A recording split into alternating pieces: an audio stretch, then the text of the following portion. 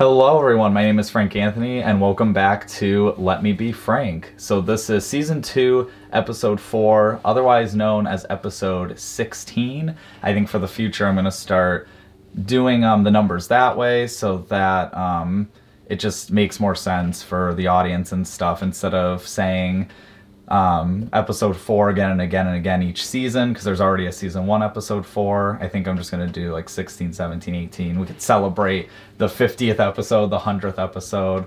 However, um, as you can see on the screen, we have a special guest today, Oh, Monica special. Leigh. Hello, everyone. Hope you're all doing well and glad you're all supporting Frank's podcast of Let Me Be Frank. Oh, and this is Teddy. Yes, that that's nice of you to say. I actually don't. I don't ask the audience how they are enough. I should probably do that more. I I'm do in thank them mental for the health. I support. care. I do thank them for the support. We do have another. I almost forgot. Yeah, we have a special guest and a half. We have Teddy. Um, can I say his last name or It's it Theodore confidential? Linus Bruschi. That's his entire name. There we go. but Teddy for short. Ted's McGee. So yes, we have him as well joining us. I feel like an evil, evil person, like who's like petting their cat, coming up with diabolical plans to take over the world, and hair in my face.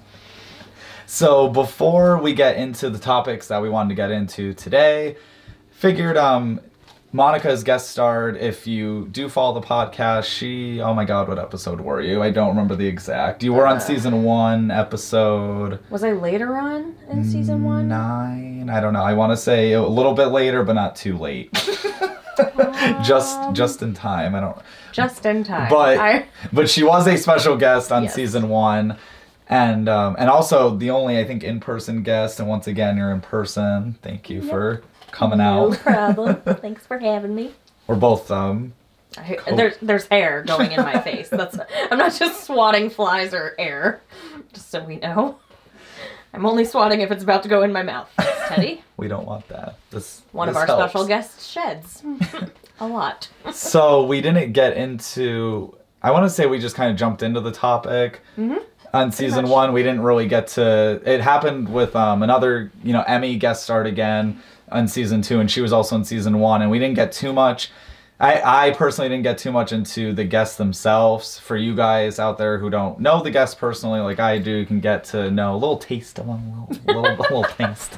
A little smidge. So, um, yeah. So, and also I got some notes on my lap, just in general. It's a good thing one of us is on top of how this is gonna go. Well, guests kind of help me stay on track. You're not the best example guest. Not this guest. This guest does not have that skill in her skill set. So we- not on my resume. We will. We will see. But okay. So, tell us a little bit of who you are as a person, and um, actually, the way I worded it is, if you were a novel, what would the back of the book say? Oh God. like, how would you, yeah, describe Say yourself? some really scary stuff. Um not for human interaction. No. Um it would probably say that I'm a very complex person um just in the sense of like there's so many I'm like an onion like Shrek let's go to the Shrek reference I I have layers like a stinky old onion um, the, the- Monica's novel, Big Stinky Onion. Um, no, but I I would say that I'm a very active thinker when it comes to just like how I am. There isn't a single moment of the day where I can turn my brain off. Um, I would say that I'm a compassionate person. I'm a very easily distracted person. uh, I'm very family oriented. I'm goal oriented.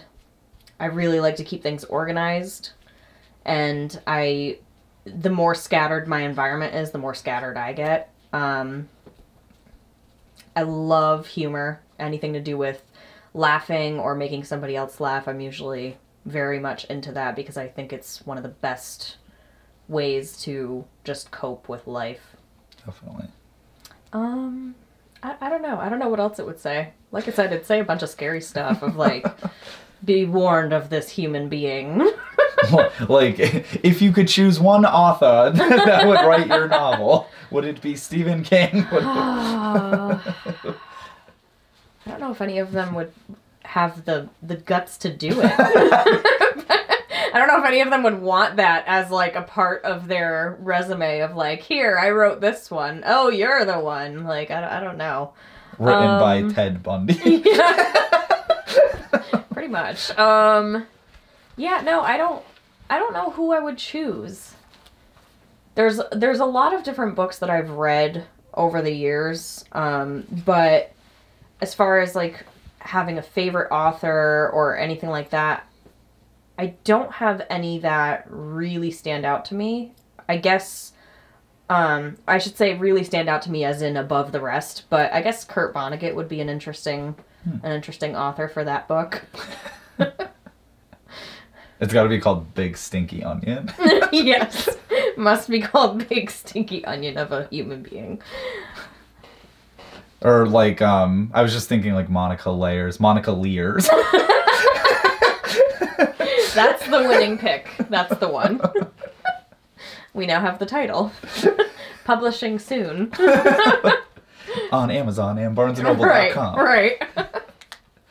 Um, it's so funny too, just thinking about like now there's a visual aspect to this podcast. So I there'll, know. there'll be certain visual cues that happen where the audio people will be like, "What are they doing?" And uh, my, meanwhile on camera there's no sound, but it's just Yeah, just voguing. Yeah, and then they're gonna see like all of our antics and all of the times where I end up looking away because I get distracted by something or I'm trying to think and I can't dust just particles. I can't just like look into the camera and think for whatever reason. I don't know. I'm a strange person. Moving on. Continuing in this wonderful interview that's already going swimmingly. So, um, so I started this with saying for the type of work that you do, because I thought in your about me there you would mention work um at all. like at some point you didn't. so, um, what's what can you um when it comes to your work, what can you like mention? what can you talk about? Um, so I have basically my career set right now is in mental health and social services. Um, but I have had a lot of experience in various aspects of that work, and I'm continuing to grow my experience as I've only been technically only been in this field for about um, about five years or so, uh, and that's once I graduated college and actually got into this work, not counting any of the times where I volunteered at things in the past, because my mom is in this field, so I've helped her at different events and whatnot. But um, some of my jobs have included um, working in a hospital on a locked inpatient psych unit. I've also done outreach work. My goal long term is to uh, go into private practice as a therapist, and my population would probably be teenagers and young adults. Uh, that would be my main focus, I would say. But I'm kind of just enjoying experimenting with different jobs in this field and really finding what I really like for the time being. I'm really enjoying that part of it right now. That's good. Where um with like the mental health field, Mm-hmm. where do you know where that passion came from? Do you know like why Yes. you wanted to get in this field? You mentioned that family's Yes. also in this field. Did that have anything to do with it or That did actually. So when I was when I was a kid, I was one of those kids that like pretty much every year I had a new dream job of when I was an adult. Like a lot of kids say like astronaut and cowboy or something crazy. Mine I, sorry, funny thing when you say that, one of I had a bunch like firefighter and stuff. One of mine was president, and then I remember I didn't want to become president because I was like, well, not anyone can be president, but apparently you can. no, but seriously though, that is so funny that you said that because president was one of mine. I was like, I'm gonna be the first female president. Blah blah blah. Here I come, world. I was gonna say you still could be. Like, no, no, the world doesn't want that. like, the world does not want that. But so Big smelly onion will be sold and read in every school curriculum. I'm literally never gonna have my name back now. I'm just gonna be a smelly onion for the rest of my life. so um no i uh that was one of them but that was like a very brief my presidential run and campaign was very brief as a child um i wanted to be a prosecuting attorney for a long time i wanted to be um a cop at one point not just any cop a detective i wanted to be um a veterinarian. I wanted to work with animals, and I was really actually focused on the animal thing, either being a zoologist or a veterinarian or something where I would have hands on with animals all day, and that would be my job. I mean, who doesn't want that? Yeah. Exhibit A. Um, but so that was in high school that I was really focused on that. I was watching Animal Channel, the Animal Planet channel like all the time. Every every free minute of my time I was watching stuff from there. I was researching things online, reading on them in books. And ultimately I went through quite a bit in my childhood and in high school and because of what I went through in my own personal experience, which included bullying, um, coming from a broken home, things like that, I really started changing my perspective on where I wanted to go in life. And of course, it inspired me that my mom had also been in the field and you know i kind of wanted to do what she did because she did it and i'm so you know family oriented like that. So there was that connection too because i'm such a sentimental person. Um, and then there were some people who really inspired me uh, some of which i'm still lucky to call friends like this one. Um so so yeah i i started getting into looking into mental health for my future and then it just kind of took off from there. And i ended up graduating from stick like my mom did and then i just kept going and here i am Here I am, world. here I am, world. And it's just been one kind of job after another, um, with with the goal of having different different experiences in the field in order to one assess that I definitely want to stay in this field and become a therapist, which has been my primary goal from day one, but also just to learn all these different aspects because for any of you who have never worked in social services or mental health services, and for those of you who are completely oblivious to how the system works, there are thousands of different resources, there's thousands of different populations, different rules, regulations, there's all kinds of things to learn once you actually get into this field. So, um, that's been kind of a really important thing for me is to learn as much knowledge as I can and use it to hopefully fuel whatever I decide to do with private practice at some point. nice. Thanks.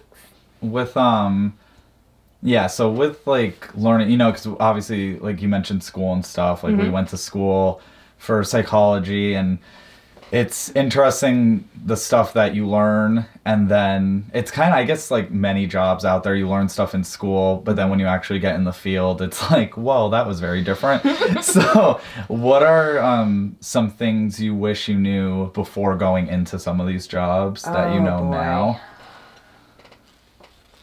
I wish I knew just how helpless I would have to be in certain situations. And I say that to say that there are many times where you will want to help the person entirely. You'll want to just like mm-hmm. take your fingers and just snap and just make everything better. And you have to have this acceptance of okay, but there's a system in place here, and you have to go by the rules of the system. And there aren't really many ways to get around that. And I think, kind of, just when you get out of college and you start in this, I'm speaking to this specific field, when you start in this specific field, you kind of have this sense of like, that you're looking to be the fixer for situations. Mm-hmm. But then when you actually start these jobs, you learn that there are some things, quite a bit actually, that you're going to be able to help with. And you might not always be able to help as much as you want or in the way that you want. And then there's other things that you just might not be able to help with. And that could be based off of your own limitations or the system's limitations. Um, but you just have to do the best you can and accept that and know what your limitations are. That's one of the most important skills you can Oh, have in this field.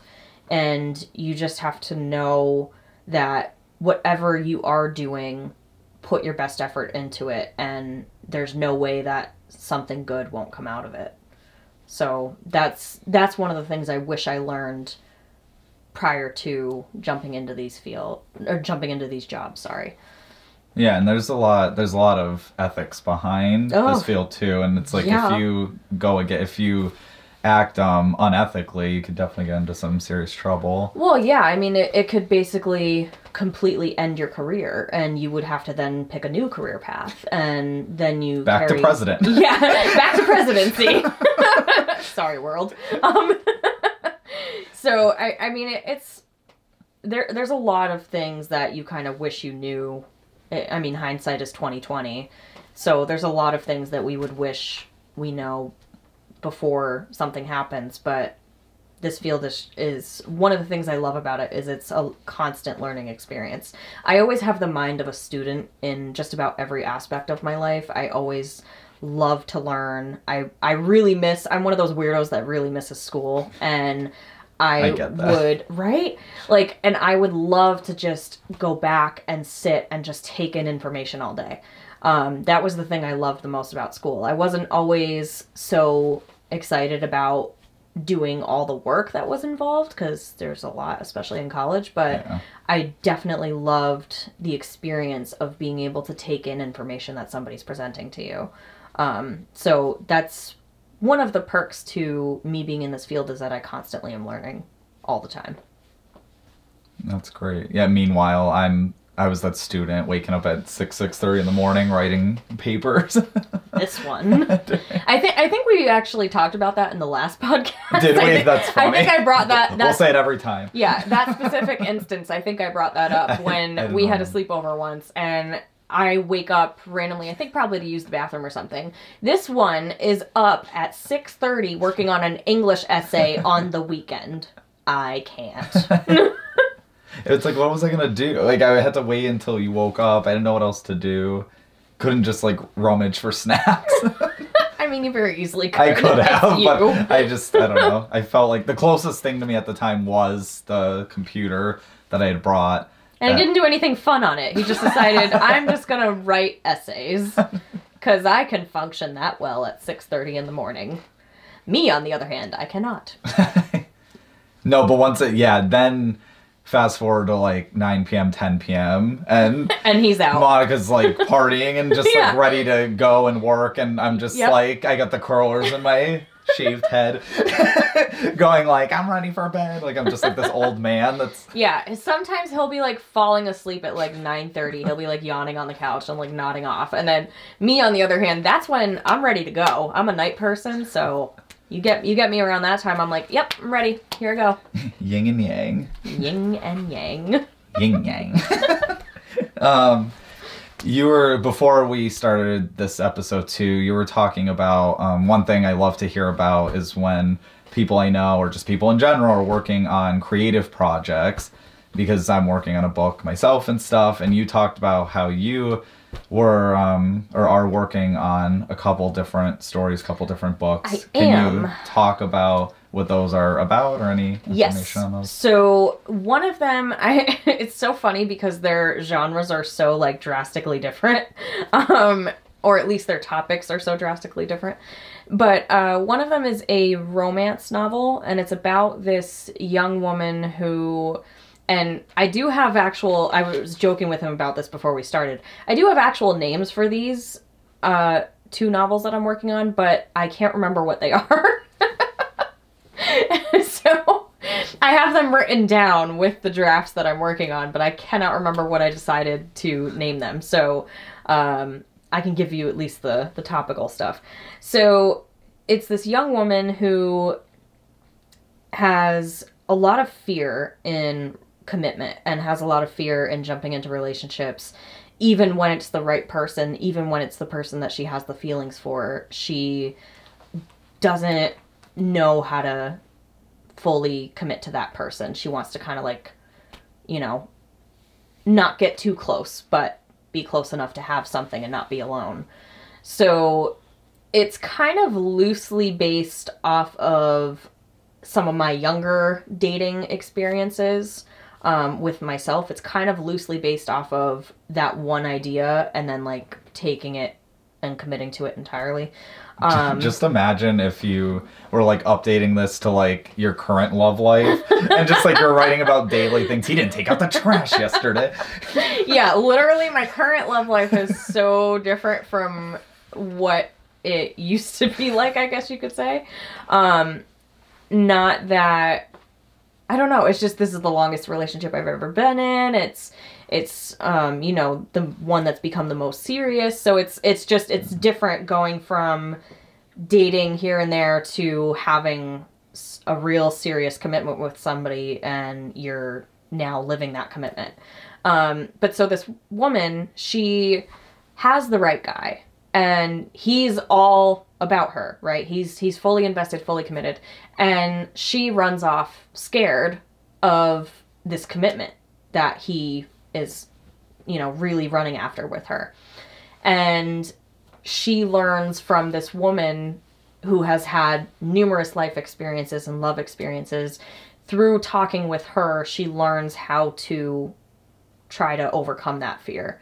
Um, that's that's the goal and the basis of the story and there's there's a lot of there's a lot of different parts to it but that's one of them okay. the other one is w- about a serial killer um, i love dark and twisty things i just can't not have them in my life so so this one is about this man who kind of takes on this vigilante role and there's a really like religious reason behind every kill.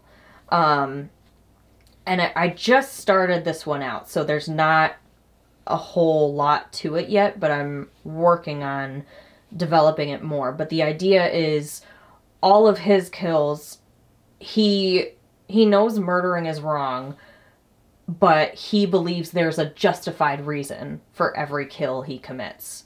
Um, and the backstory to why that is is all to come once everything is finished. Nice. Um, these are taking me a little bit longer than I thought I, or than I would like, I should say. I started them a good amount of time ago, um, but they're they're slow developing, but they're there.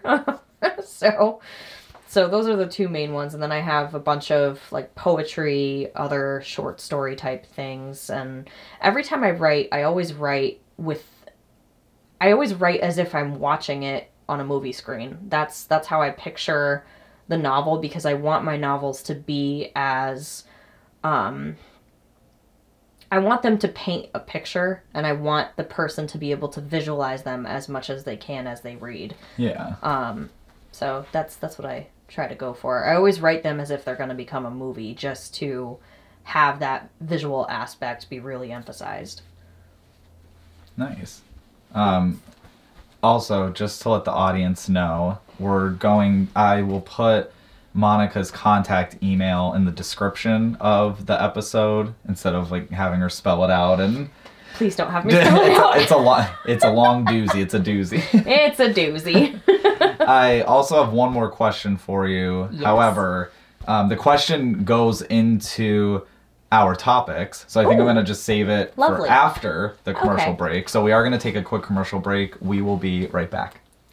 And we are back with Monica and Teddy. Still here. he just likes to sleep. So that question that I wanted to get into was um, like I said, it was connected to the topics that we're going to get into and that are also in the title. So, um, how how important is communication to you, and what type of communicator do you see hmm. yourself as? Whew. So, as far as putting a label on me as a communicator, I I have a hard time just like putting it down to like one or two words or anything like that. But I I'm a very open communicator, and I wasn't always like this, by the way. My communication styles have changed over the years. Definitely same. Right. So for me, I would say that I'm very open and I need I need to talk about more than the average person, I guess, if that makes any sense. Like there's a lot of insecurities and anxieties that I have as a person, so sometimes I'll have moments where I can't really work those out just myself without actually communicating about them, even if it's something small. But when I do talk about stuff like that and it's like something smaller that's not as important, I really do my best to just treat it as such and treat it as something small to where I'm just looking for added understanding or, um, you know, some sort of resolve in my confusion is what I'm looking for, I guess. Okay. So, so I, I really, I need to talk about a lot. Communication is very important to me. It is, it's the basis for my romantic relationship, for my family, my friends. It's, I'm a very big communicator. I yeah, I mean, I would view myself the same. Mm-hmm. I I was gonna say the same thing when you were talking about how um we change our communication changes over time because yeah. I. I know specifically the topic we're going to get into. One of the communication ones is friendships when it comes to the interpersonal mm-hmm. relationships. But I just think about um, in in a romantic sense how I felt like I always had to just say every single little thing in my mind. And I think my communication changed a little bit over time because I realized the responses I was getting, in friendships too, the responses I was getting from just being so blunt and vocal about every little thing. I kind of had to decide. Um, how I was gonna like pick and choose my battles, yeah. and that's why I view. I mentioned in past episodes how I view things as small and big issues now to kind of help gear that way because um, I also didn't realize too back then that everyone has different communication styles and that we don't all communicate the same and that there's actually I oh I did write I wrote it. I, I, I, like writing the quotes. I come I come by some random quotes online.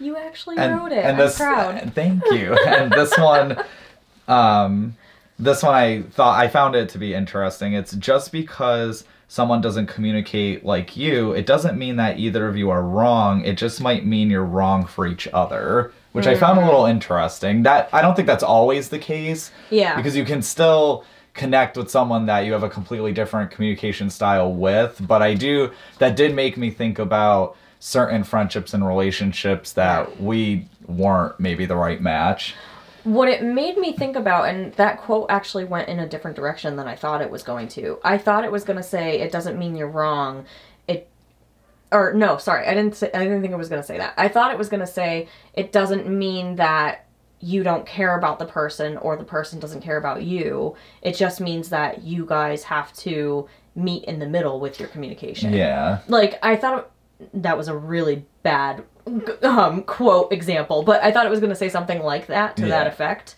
Um, I actually didn't think it was going to be like, oh well, cut ties. Good luck. Yeah. it's been it's been a no, I know. Yeah, nice try.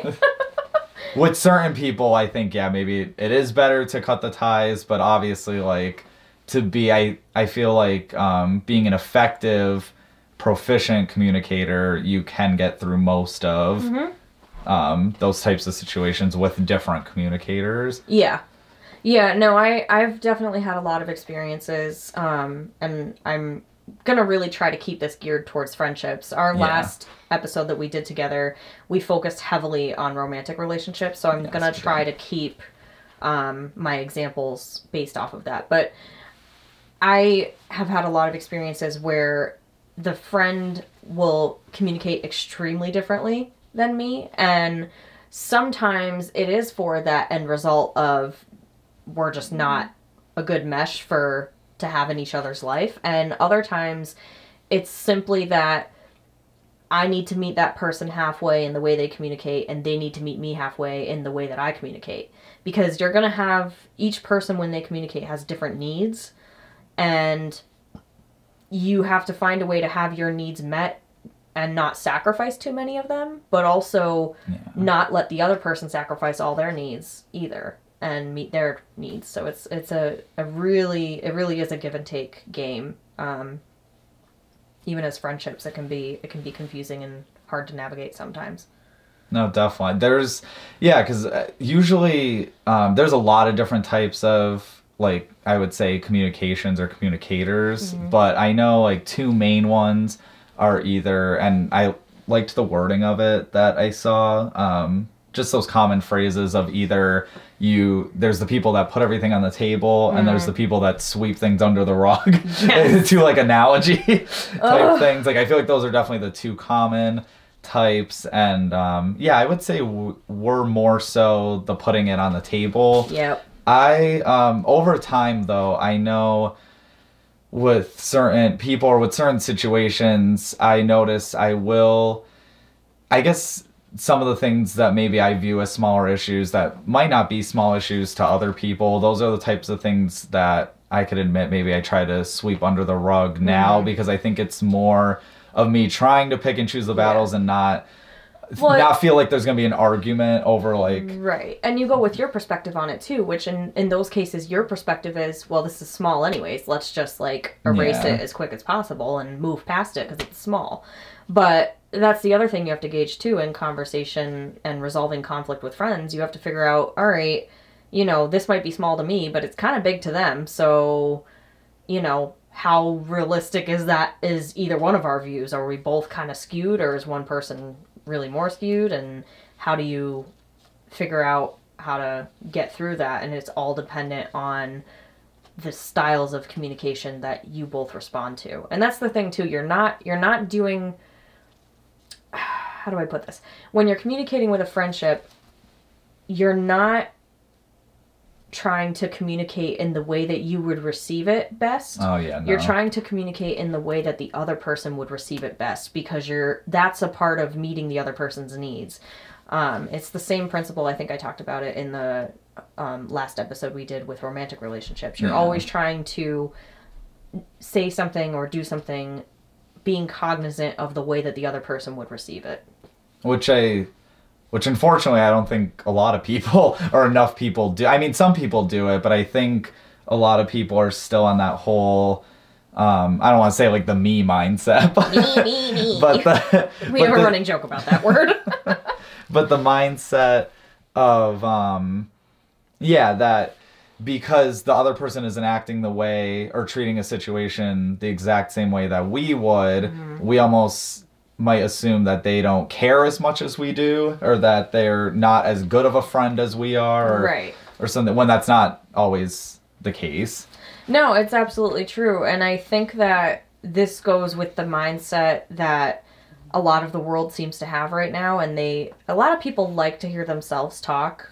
Um and they really think that you know, their their voice and what they have to say matters most. Unfortunately, that's the mindset of a lot of people on a day-to-day interaction. Um but in reality, listening is just as important, if not more important, than speaking. Yes, your voice matters. Yes, what you have to say is important. Yes, it sh- it's not irrelevant, but you still have to take into the into account that the other person also is important. The other person also has important things to say that are not irrelevant. So, just as those things are all true about you, they're also true about everybody else that you interact with. And I think that that's really difficult for a lot of people to grasp nowadays because we don't really have, as a society, that team mentality. We have very much uh, everybody for themselves mentality, and it's just disgusting, really. Speaking of teams too, something that I didn't think about for this conversation until this morning was is um how is all the different ways that we create friendships, how we meet people. It's not always just from like we met through school. True. Um there's and also the class that we were taking was um, choir, which was a common interest. well, of singing, but now we're we're big fans of the choir. Can I just tell you guys, he didn't like me that much at first. You were you were very loud. oh, that's that's a word for me. well, we were also very different people at Yeah. that time Yeah. compared to now. But it's funny because you were a certain way in school, but anybody that Yeah, knew you in your private yeah, life, that too. you were more loud like me. Oh yeah, I was so super. it's it's really interesting and and i actually that class he got to see i would say the real me um because when i was in a class that i didn't feel comfortable showing my real self because of bullying and all the other things i was dealing with at school i would not be as loud unless i was with my comfort zone which was my friend group and things like that um so that class he got to see more of who I really am. And I was definitely more on the obnoxious, like loud, giddy side back then. I mean, I still am, but not. I, I'm more controlled now. we'll see. And for me, in choir, I was bullied. Um, one of my first high school years. Yeah. So that um, so it was kind of like I took a year off after that, and then going back was when we had met. and so I'm kind of like I felt like I was almost like walking into like this landmine where I like kind of just had to be careful because I didn't know I not a landmine. not you you are a grenade no but no but um I just I I, wasn't for you know it's like when um oh god I'm trying to think of a somewhat good example like like a cat that falls into a bathtub of water but then they revisit the tub not filled with water like you're unsure if like Oh, you're gonna be walking through water Why is why does that analogy make so much sense to me? Like you pulled that out of your butt, but I like really I, I really I pulled that out of my spleen actually out of your spleen. Um, but I really actually understood and followed that entire analogy. I don't know. I'm happy it works. This is why we're friends. Just- Communication. Communication.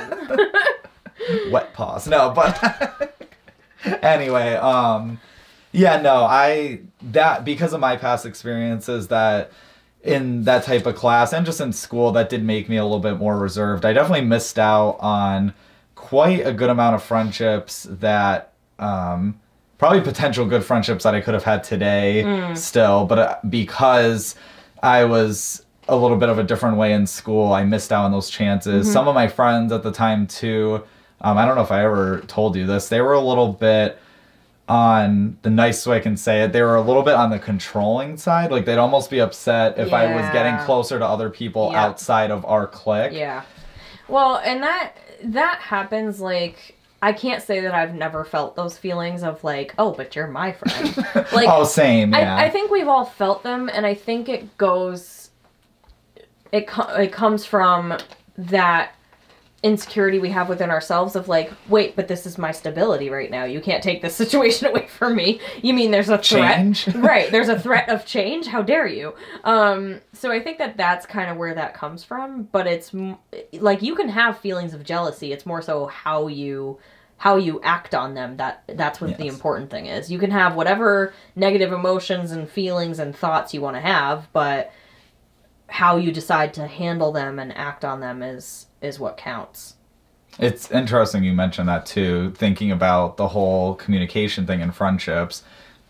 That I know I had I had to accept the fact that we we can't necessarily control how someone else is going to communicate Mm. with us. We can control how we communicate and how we take Yeah. certain things, but unfortunately we can't we can't change. I I know like in the past I always I would, uh, if I met someone romantically or even certain friendships, Mm-hmm. I'd be like, oh, I love this person. And I'd love them even more if I could change this one thing about them. And that's definitely a little Yeah. bit toxic in a way no like we it's can't. it's that's a really important piece that i think everybody deals with we all hate not having control let's be real um we all really hate when there's a situation that is out of our hands Yeah. Um, and I think that it's so important when you have a friend that communicates a w- in a way that's really different from you that you really don't try to change their style of communication.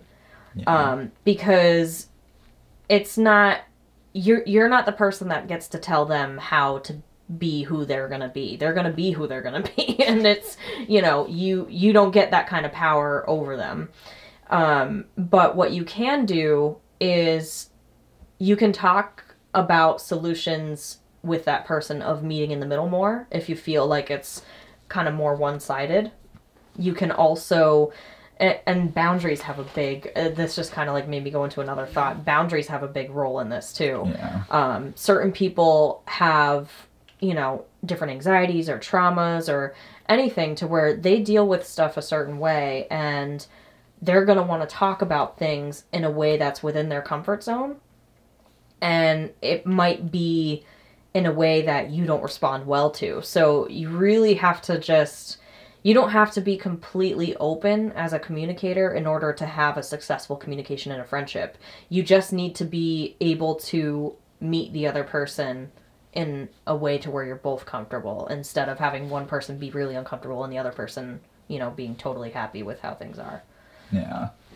I um yeah, what I was with the different types of relationships I was realizing this morning was I wasn't even thinking about until today about um because like I said, we met in school. I wasn't thinking about um relationships with people at work. Like, that's such a common type of relationship, and we're at we're at our workplace for so many hours a day Right. that obvious like sometimes to get through the day, especially if people don't love the job that they're doing, it's like you need those work friendships You do. in a way but i what i was thinking about especially um, with the jobs that i've left and certain people that i've kind of gotten out of touch with is i realized um, a lot of those friendships were built um, off of convenience and Yeah. not so much a common Yeah. interest so Yeah. then when you do get into a weird like argument or not even an argument but a weird like communication conflict. Mm. It's like I, it feels different because it's like oh like Yeah. this is you know leaving certain situations you end up just becoming like an acquaintance with certain people right, or right. And i think that that has to do with okay and speaking to the work example in particular but this can this principle can be like attributed to other you know other examples of when people meet but i think that with work when you meet a friend at work and they they kind of just stay your work friend you could be super close at work. Like i've had work friendships to where you know it would if somebody walked in and saw us interacting you would think we're best friends at work and probably outside of work. But sometimes i really only interact with those people at work. Yeah. and that's just like that's just how we get through the shift. It's how we deal. But when we try to navigate those friendships outside of work sometimes conflict happens because it's like okay wait a minute you're acting differently than you would um you know when we had this common goal and this common battle we were facing now now this is a different setting and Yeah. and you're acting a little different or Yeah. you know other other hidden traits might come up or just that maybe you don't have any conflicts with this person at work because you both have this like thing that you're against but now you have the opportunity for conflict with each other when you're outside of work and when it comes up you don't like how the person responds. It's there's a lot of different reasons for why that happens but it, it is really another hair towards my face. It is really interesting how that um how that can be so different. Like i've had work friendships to where i've become really close with that person outside of work and have man- maintained that relationship and then i've had work relationships to where it's like no no we're just work friends Yeah. we shouldn't experiment beyond work friends fortunately i do have two close friends still that i met at work Mm-hmm. and then it outside of work and even in work too the bond grew stronger because Yeah. there were actually a lot more things we had in common Yeah. so i was like okay that's always nice because the majority of the work friends yeah you do tend to lose yeah over time or just either whether it's falling out of touch or not anything necessarily like Yeah. bad but Yeah, it doesn't have to be a negative event that prompts it. Sometimes it's just we just get busy. kind of like in high school when you tell everybody you're going to keep in touch and then you all graduate and you're like you just go. It's like everybody spreads like like a bunch of babies hatching from an egg or something. It's just like, "All right, bye." I feel like because I was quite a, I would say I was quite a toxic person. I mentioned it during high school years that for me, my mindset was if we're not going to be friends anymore, like we need to fight to end it. like there's no like falling out of touch. Like you need to fucking hate me. and that's what I did. Um, I mean, having known you for as long as I have, that's not really that far off from the truth. what are you trying to say? No. I mean, I don't know. You want to fight about it? Conflict. Oh my god. No, it's like that Family Guy episode. What, what was that guy? He was like, "What? You want to fight about it? you know what I'm talking about?" I can't remember. Why what did I, I wanted was. to say Fat Polly, but that's not the same. No, I I was thinking Fat Polly at first, but I'm like, it can't be Fat Polly because he they end up like, well, actually, he gets shot. it might be Fat Polly, Maybe it was. or it just might have been from that episode. Now I can't remember. Yeah, I can't either. Darn it. Danger. I think before um, another commercial break, was there anything else you wanted to add with that topic? I can't think of anything. I, you know me. Me coming up with prompts, it just doesn't really happen. I'm much more of a reactive person when it comes to these than actually coming up with the stuff, which is probably why I've never had my own podcast. Trust me, there's weeks where yeah, I'll be like, okay, topics, topics, topics. Hmm. Ideas. and then you sit for another 24 hours and have nothing. well, and then I do the walk talk episodes, and then it's like, oh crap! Like if I did a walk talk episode, Right. do I get to also put it on the podcast, or did I already talk about it enough to where nope, I can't? Like it's a whole separate. So then I just yeah, I double edged sword there. Double edged sword. and I'm good at doing that. Um, I did write down some questions for when that I could just add before the commercial break when it comes to when you have that conflict in communication and um, I when I thought when I read into these questions I thought about those specific moments in life where especially um I know we're talking about friendships. I really think about a specific romantic relationship with this case because I think I I think about it and I just think how regardless of how I communicated, this person was going to communicate the way they were most comfortable with, no matter what.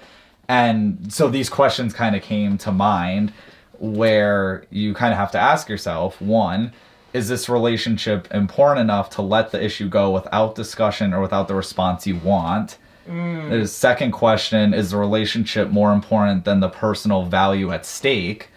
And three, will your life be neg- negatively affected if you push the issue? I love those questions. Like, I want to, like, tattoo those on my face. Seriously, though. Like, I want one on each are- femur. Those are questions that you should always ask yourself every time you're in conflict. And Yeah.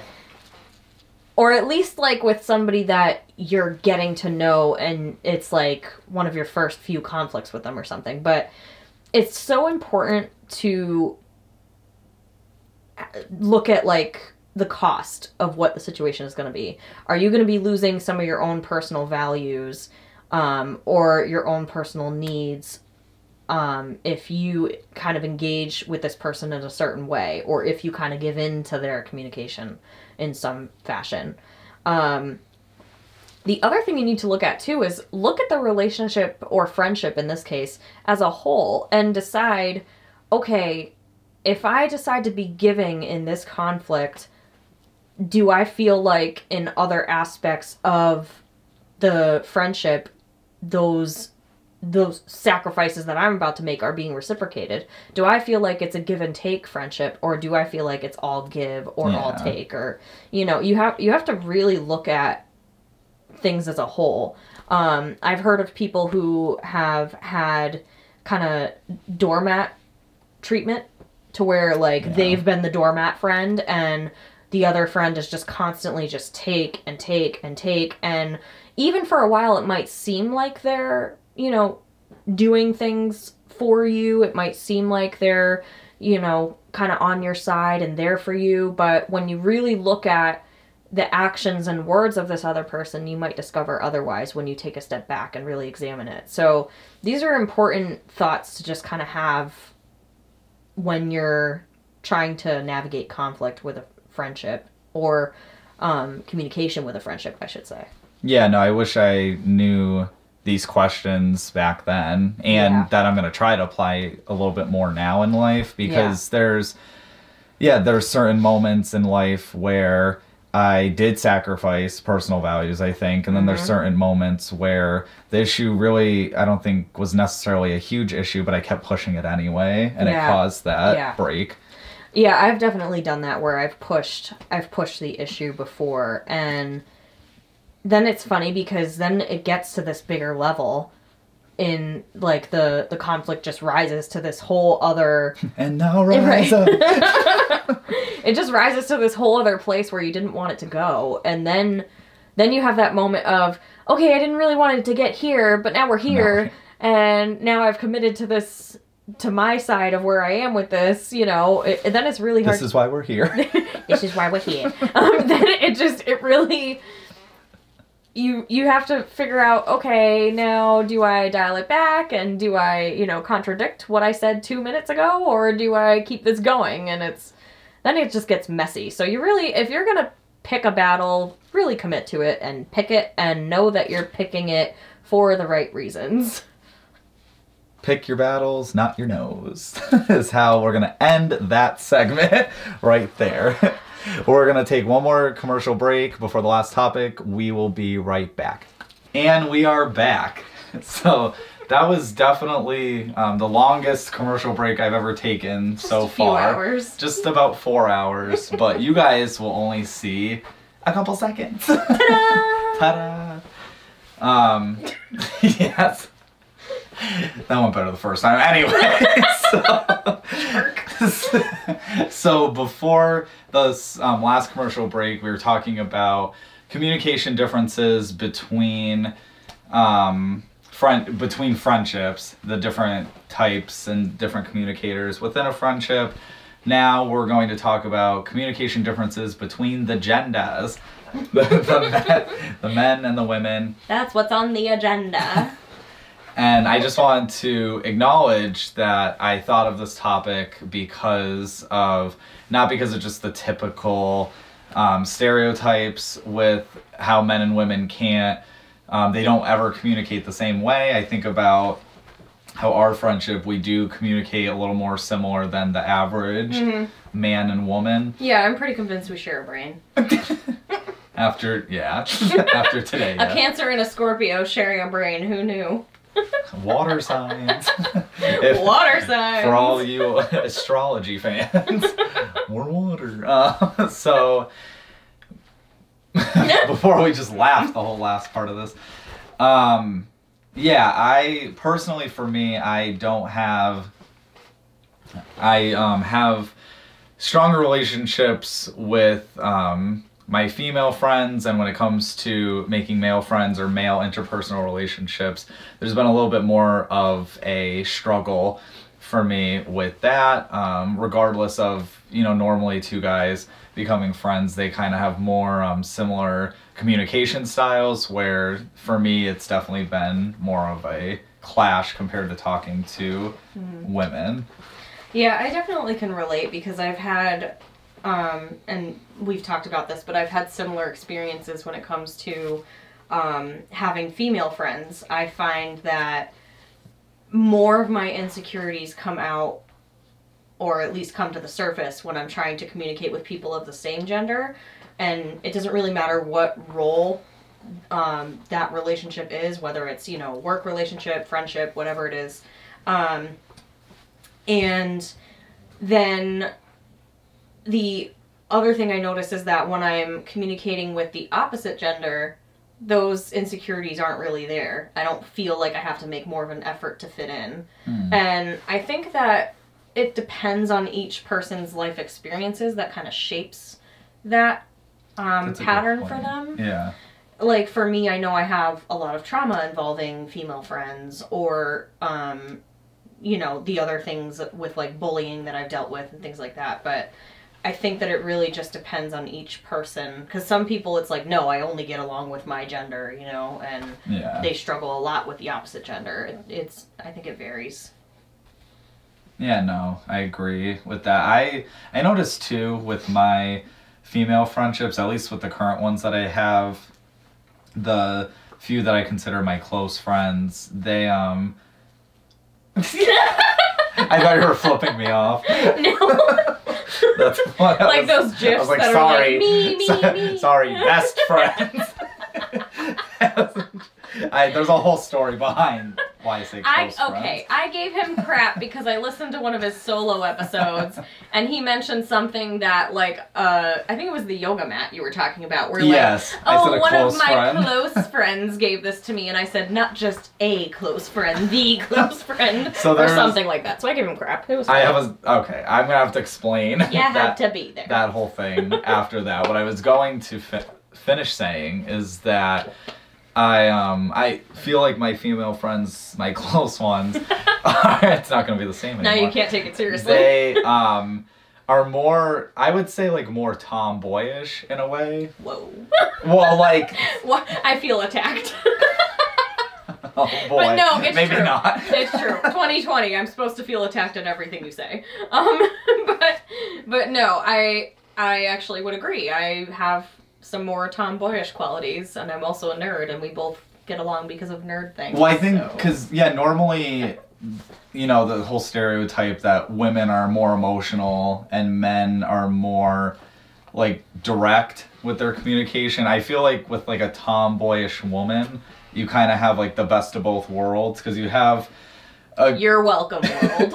like you have like you have the woman part where like they are compassionate but then they're not like having all the drama or like the over emotional reactions like quick reaction stuff now remember to clarify that those are stereotypical. yeah stereotypical reactions. reactions Because otherwise, you're gonna men- get an uproar of women on men here. also I know, well and the audience is around 50 50 percent well not a true 50 50 there are some other specified no non-binary listeners yet Ah, but Gotcha. the other specify yeah i don't know how many um, different genders are counted in the other because it just says male female other non Ah, but then they have non-binary as a separate yeah. which is interesting so yeah, I do find that interesting too. But um, what was I gonna say? So. I, I think that it's important to remember that some of the stuff that we're referring to is very much going off of the stereotypical Yeah. what you you know what people typically think of um, but obviously there are certain circumstances like if you have um, and I and I think it's interesting to think about like how femininity and masculine masculinity um, can affect communication styles, but I think it's a lot more about what you grew up with and you know how you're raised, what communication styles you see you see displayed throughout your life that you kind of um what's the word are influenced by Yeah. and and i think that that more so shapes you It- i also think those things plus you know masculinity and femininity plus your basic needs as a human being and how your personality forms i think all of that ties into communication it's actually in my opinion a really complicated complex thing to where you can't just point at one thing and be like oh that's why you communicate that way Yeah. um but yeah just a little psa i guess I I think I've been guilty of um, when I just think about like past friends or past situations. I think I've always wanted like, and they say too in psychology. I think about the DSM five where like you're not supposed to put pe- like people don't fall in perfect boxes. You're not supposed to like as much as we want to do that. Our minds do that sometimes. We're not. You're not supposed to do that. There's always gray matter in a lot of situations, and I think I would um look at certain friendships or just certain individuals and almost like want an answer behind why they do act a certain way and some people do things just because without really much like Yeah. Um trauma or history or anything like that it's It's it's really funny though because I feel like I feel like there's also like an education piece to it. I feel like some people who don't know better can't do better. So I feel like yeah, sometimes, sometimes. it's like a, a poor poor communication skills can just mean that there's a lack of education on communication skills too. And but uh, that obviously that's not always the case. It's not like either that or the other. It's you know there's a bunch of different reasons why somebody can be shaped into you know the type of person they are, the type of behaviors they display. But I always do find it so interesting because part of why I'm so into the field that I'm in is that I like to dissect everything and I like to say, "Oh, this is why they do that and this is why this happens." And And then in turn, I end up discovering a whole bunch of stuff about myself that some of which I'm like, oh, I don't want that on my radar now. I don't want to know that. Water Now- signs that overanalyze. Oh, Lord. That's both of us to a T. I, th- I think I'm getting a little better. I I also haven't been dating much, so that could explain why. It's kind of like I'm not finding gold, but I'm also not out there with a metal detector either. So. You and your analogies today. They're coming right out of the spleen, not the butt, like you said earlier. It's out the butt. Speaking of, I feel like I need to communicate the reason why I say close friends and not best friends. I need to get this out. I actually was going to say it in a solo episode. Oh, here's a pure example of resolving conflict. Well, she walks out the door after this. We never talk again. Bye, Felicia. So, by me. So, um, yeah. So, reason it kind of dates back to MySpace days, oh, God. and just the um, eight friendships. So yeah, so for anyone who is younger than old that doesn't know about MySpace, Apparently, my, we're where old starts. The old category starts with us and then just goes up from there. MySpace was the social media that was big before Facebook and by the way, there was a lot of cool features with MySpace I'm that just saying, I, I do miss. was kind of. Like you got to, I mean, everyone was like a graphic designer with designing Seriously, their though. their backgrounds. Would I knew like a lot of HTML code. It was cool. Yes, I was just gonna say you could code so many things to it, but anyways. But um, but yeah, and there was like music you could put and all that cool stuff. Mhm. But there was a top friends thing, and I we I was gonna say we didn't get um we weren't as close or really knew each other when MySpace was still super big. But so I did don't we even use it with each other? Because not much. I actually did find out we were friends on MySpace. Really? I remember that's that. That's crazy.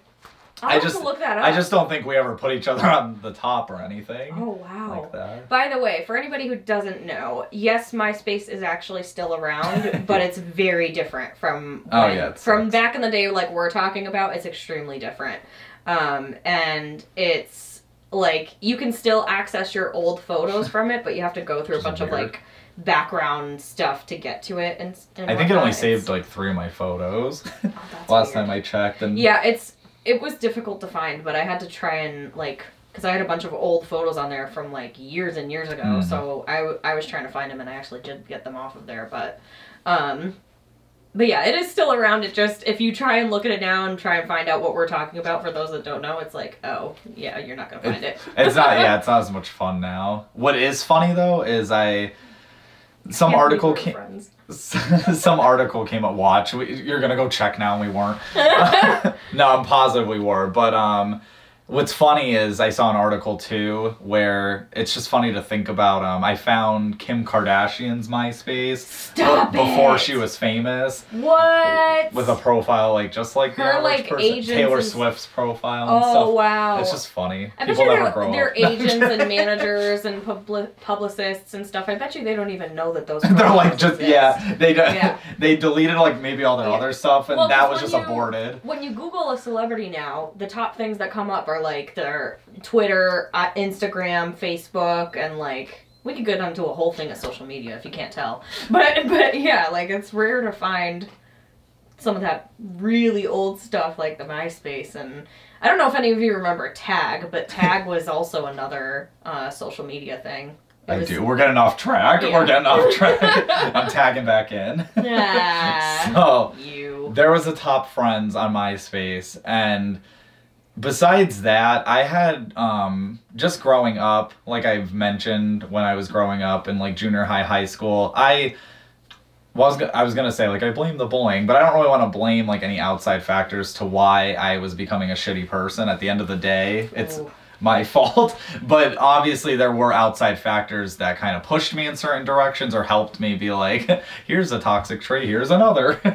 Ooh, a toxic. They toxic inspired and influenced him. But um, yeah, and just yeah. So um, I would believe that you could only have one best friend. Like when you had a best friend, Ah. it was just one. Like people would be like, um, I almost said names. I don't want to like put anyone's personal names that I used to be friends with, but one of I would just say one of my old friends would be like, "You're my best friend," and then they would say like their um, someone else was their best friend in our friend group, and I'd be like, I'm your only fucking friend. What the fuck? That just made me think of Stewie Griffin when he's like, "How dare you?" and like, just I just see you as like the creepy man peeping around the corner as you witness them saying you're my best friend to somebody else, and you're like, "How dare you?" and like plot their murder. And Well, I know this next name of this friend. I know I can use because she's been she's been on the podcast on season The one. podcast. The podcast. uh, my friend Steph. She um. Hi, Steph. her and I, we've been friends for many years, and that was before I have the friends that I have now. She was that best friend. Well, she had met um, this other girl in high school. And that girl was very. I just realized like we were just. Steph didn't only meet one possessive friend; she met two. um, because that girl was very like we got very serious about who was in the number one spot, and I would always use like well the history like I knew her longer like I'd always use that, and this other Yeah. girl would be like when we go to school together, and I'd be like you Mm. also could die, I just don't know, you know. And Frank is a really spiritual and compassionate person. we got no animosity whatsoever So, towards anyone. Ironically, um, I'm also good with computers and technology, and back then it was um, compared to now, it was easier to hack things, and um, True. unfortunately, um, Steph also had not just one friend good with technology, but two friends were good, and we both would actually go into her MySpace and change and put ourselves as the number one. This is one of the greatest stories I've ever heard.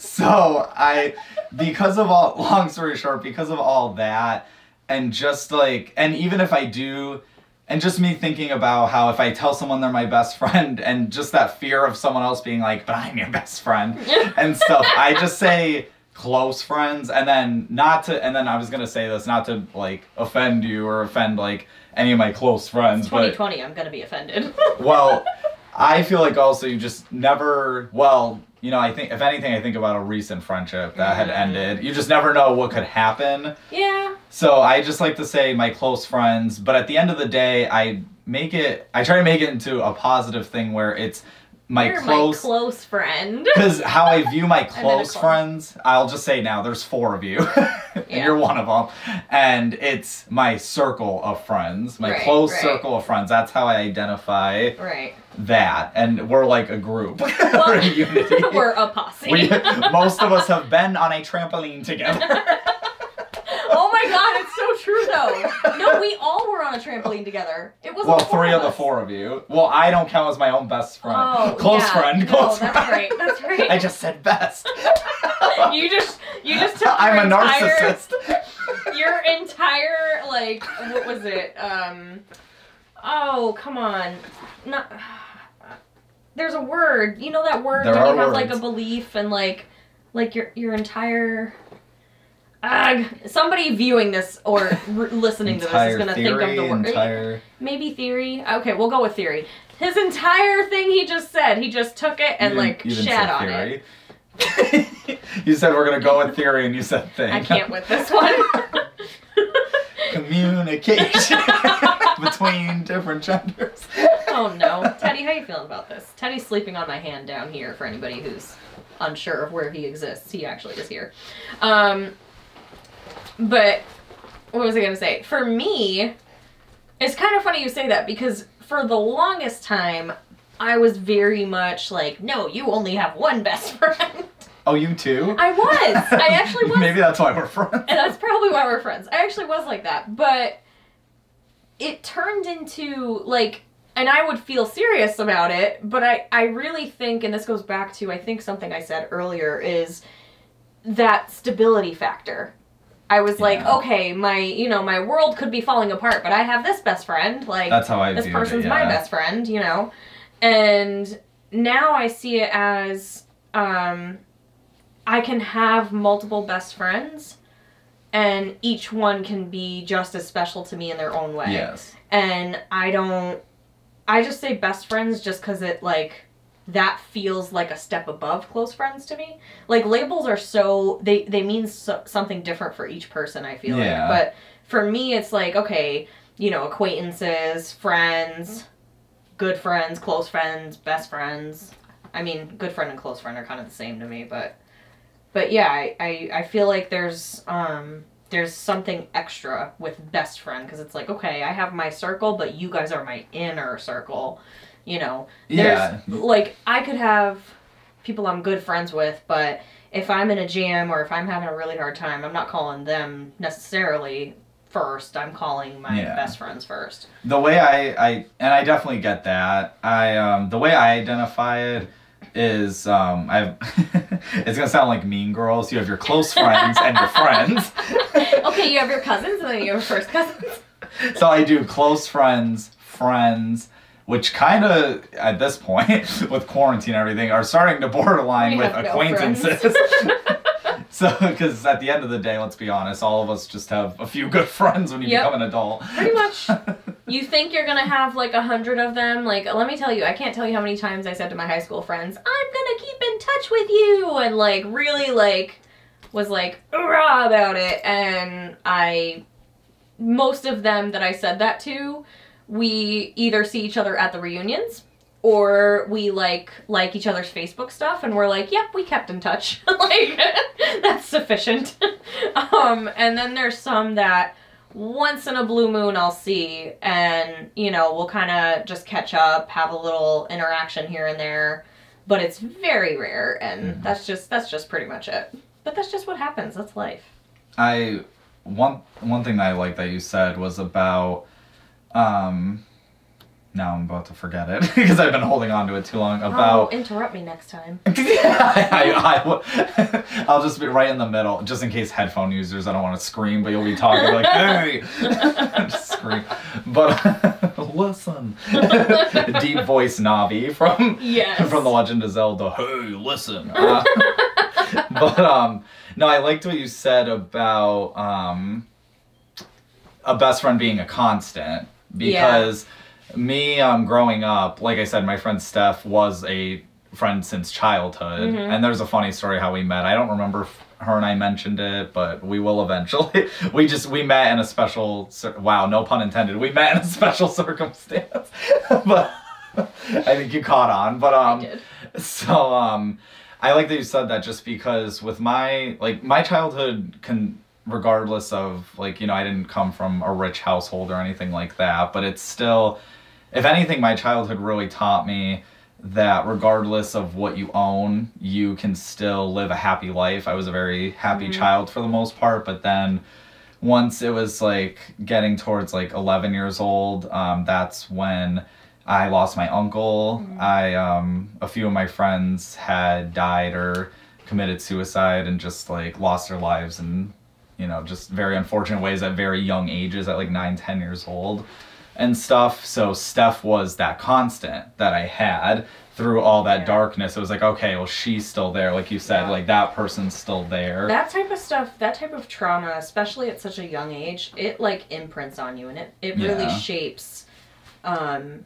it shapes how you view the world and it shapes how you deal with hard things going forward and it gives you a it makes you look at the world through with like a set of glasses on that you can't take off because now you have a totally different view. Mhm. Um, it, it really does. People don't understand how you know you can say, "Oh yeah, children are really resilient," and they are, um, because they have this innate drive to just keep going and keep dealing. Mhm. But y- you have to also understand that stuff like that it really is impactful on children. So I, I think it's i think it's interesting to think about how the things that happened back then how they shaped something like communication for you even all these years later and how you know whatever experiences you had with same gender and opposite gender how those things could have shaped you now you know? I, th- I think that it's really interesting to Well, think about that What I just thought of too is those friends were all uh, male yeah friends, which is which is interesting too, because there was. I just, I just remember, for me at least, I mean, I think in general, male friendships could be easy in a way, because I just, I think about how back then, how they did seem very effortless. I could also just be because we were younger age, and when you're a kid, it's, there's not like, this facade you have to put up. Like when you're an Mm. adult, sometimes there's like this act you have to, or this Yeah. guard you have to put up. Where when you're a kid, it's like hit me, your hands are just out. Although I will I will say I tried so hard with fitting in because I struggled so much with it when I was a kid.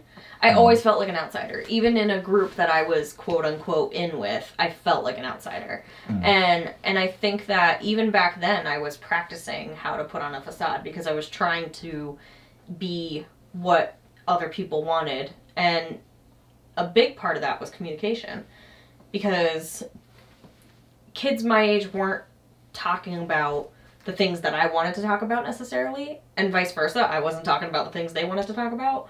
So I I was mm-hmm. trying to adjust, hoping it would make me fit in more. And it- the, there's just it's so interesting when you think of like how big of a role communication really actually plays from a young age and how over a person's lifetime their communication styles can change and how it can develop into something totally different. Because now I'm like, okay, I'm here. Good luck with me. like, That's yeah. I mean, I I guess was fortunate in a way where I guess the stuff I was talking about um, was the were similar interests that other kids at school Mhm. had. At least the school that I went to, or at least enough kids had right. the interest. Um, because yeah, like I was into. I mean, I'm still into Pokemon, but I was into Pokemon and Yu-Gi-Oh, and but then. Um, but then at the same time, I had a friend introduce me to Harry Potter, and what's funny is when we were kids, that's like when the first Harry Potter came out. Yeah. When at least when I was I was in elementary when it came out. It's really weird to think about it that way. That basically we're like the same ages as people like, um, uh, wow, really, uh, Emma Watson and Yeah. Daniel Radcliffe and yeah, Rupert Grint. It's really it's really interesting to think of like that. oh, Rupert. right? Oh, Rupert. That entire uh, cast are basically our ages right now, and we pretty much grew up with watching them. yeah. It's weird. I cause I, re- I remember going into the theater for Me too. the first movie. I don't know if I went for the first movie, but I definitely like went for at least like some of them. I experienced that. It's just weird. But um, was there anything else you wanted to share about this topic or? I'm really trying to think. general? Like, usually I have like something prepared for something like this, but like usually I'm pretty good at responding on the fly with questions. but like a good cast off. But if somebody's like, "Oh, what do you, you know, is there anything else you wanted to just say?" I'm kind of like, Mer. It's only because I don't know what to say next, so, I have to, so I have to put my attention on I something. um, I just think that when it comes to communication, just know that it's bigger than you. Oh, Know yeah. that it's, you know, your way of communicating is not always going to be 110% right. Right. And believe me, I struggle with this more than you know because I've studied, given the field I work in, I've studied so many ways of communicating. And I'm like, oh, I know this. You just do A, B, and C. But that doesn't mean everything I quote unquote know is gonna be exactly what it's supposed to be for every single person on the planet. Um, you you just really have to remember that when you're communicating with somebody, it is about much more than you. It's there's a whole other half that it's also about. to add to that, communicating is also you know, I I took communication very at face value where Mhm. communicating was talking not necessarily to someone but talking at someone. Mhm. I thought, "Oh, communication's words. I'll just throw as many words at someone and that's and I'm talking. I will talking." confuse them. So if I'm talking, that's communicating, but there's so many different ways to communicate, and sometimes silence or um, walking away from a situation is just another way of communicating. It's so true. There's so many nonverbal c- forms of communication that people don't, they're not conscious of and they're not cognizant of. Um, you could be saying the absolute nicest things, but if you're sitting there with like this, um, oh, there was a word for this too. This like nasty look on your face, and you got your arms crossed, and you're like huffing and puffing at the person. Clearly, whatever nice things you're saying don't really count. so, just something for you all to keep in mind. Well, I think we can end it on that note for you guys. We probably went a little over on our segments, but yeah, whatever. probably. It's, it's not a show on TV, so we're good. Um, I want to thank today's sponsor for this episode. I want to thank my good friend Zapphire for. I just thought of how I identify as, a, as like a good friend. Oh God, what? Where does good friend fit on on the? I don't know where pole? you are on the totem pole, Zapfire, but nice job with the music. but yes, um, he does the intro and the outro music. You should check him out on Spotify, Apple. I almost said Apple Podcast, Apple Music. His his uh, newest stuff is coming out soon, isn't it? Or did it already come out? it's not out yet. it's gonna be yeah. coming out soon, soonish. Can't really give away too much, but it will be coming. There's a couple songs out now. The intro and outro music actually isn't out officially yet, which is exciting, you know. It is kind of exciting. I think I say that almost every time too, though. But um, I want to thank each and every one of you for not only listening but for watching as well and for supporting me. Um, I just like to remind people too that I have a Patreon account now, and it would help so much just to help cover certain equipment cost. Um, and things like because i just thought like you might be thinking oh well you bought the equipment already but there's more um, besides the time that i put in where like obviously time equals money there um, i use programs like adobe premiere pro which um, are just licensed which means you're paying every year Mm-hmm. and that is like at least a couple hundred Essentially, this this show is not free to do. No. Like people can say, "Oh, you just take your phone and put it somewhere and film." There's so much more that goes into that, and I personally have witnessed a lot of the behind the scenes stuff that Frank does. He not only has to record these shows with certain equipment, but he also has to then take sometimes hours to edit them and make sure that they're of acceptable quality, you know, by his standards to put out there for you guys and there's a lot of if any of you you know really pay attention to his page he has a very you know significant following of people who really appreciate these myself included um, there's often yeah you um, there's often times where i'll watch either his walk talks or i'll listen or in this case watch because there's you know the two ways of hearing it now the podcast um, and I'll take something away from it. And I'm like, you know, if this wasn't around, it it would kind of suck a little, you know, that it would be, you know, one less good thing out there. So definitely, if you have the means, if you have the time, and if you care about keeping this show going because it is a good thing and it should be kept going, definitely check out the Patreon and see what you can do to help. oh thank you Yeah, you're welcome. and, and times are tough. Um, but at the end of the day, you're, you might be subscribed to one too many OnlyFan accounts, and you can support me instead. and I will give you a little bit more value. so, on that note, I hope everyone has a super special, awesome day. Bye.